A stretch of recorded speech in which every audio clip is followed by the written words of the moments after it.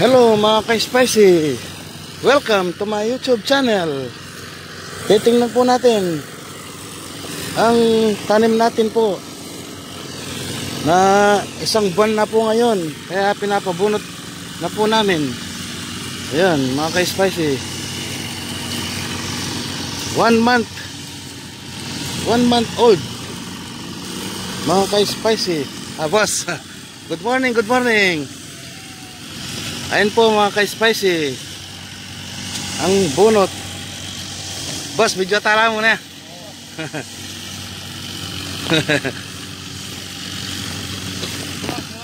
maka maka vlog lang si Rene.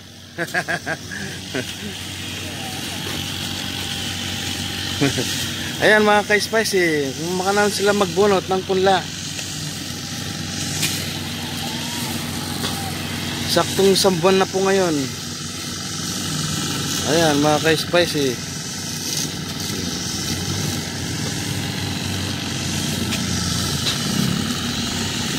Ang pagbunot ng punla.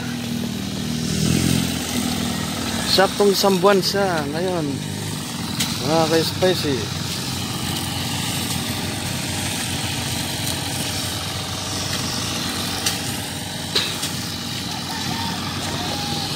Ayan mga ka-spicy. Papatanim na po.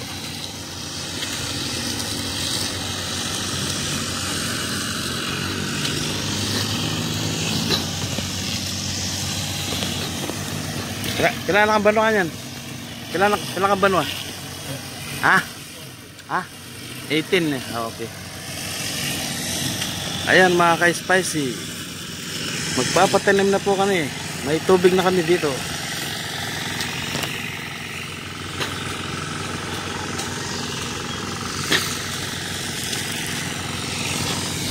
Nag-serve drinks na kaya?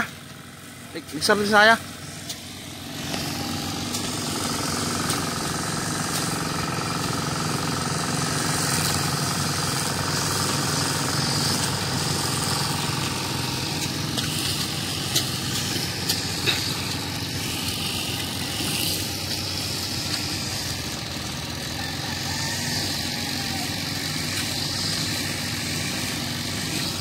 Ayan mga ka-spicy. Saktong isang buwan na po ang punla namin.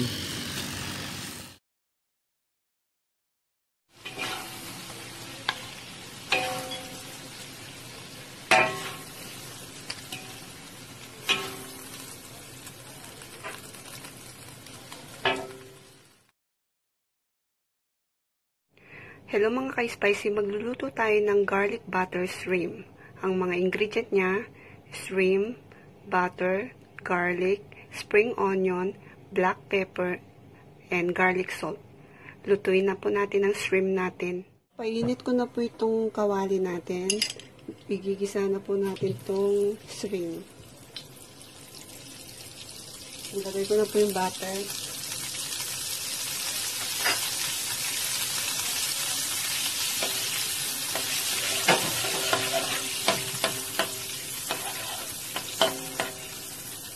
Garlic.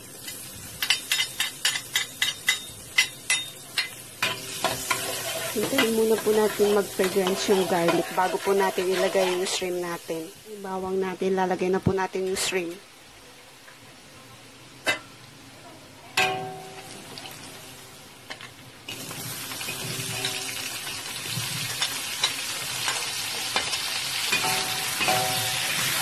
Haluin lang po natin.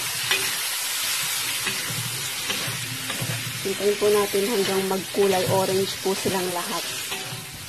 Yan po, nag-orange na po sila. Lagyan po na natin ng ano, garlic salt. Garlic salt.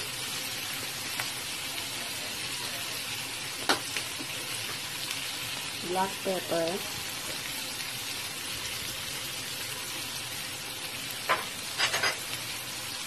Yan po, haluin lang po natin.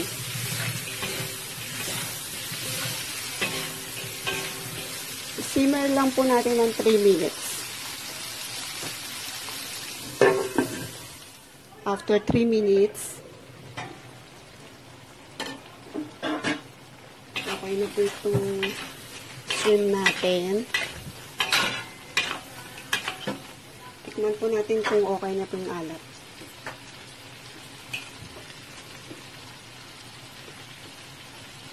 Tama na po. Lagyan na po natin ng spring onion.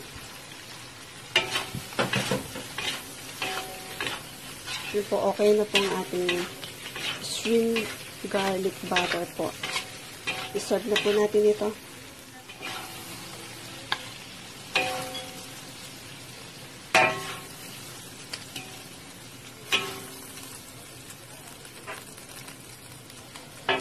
Luto na po ang ating garlic butter shrimp.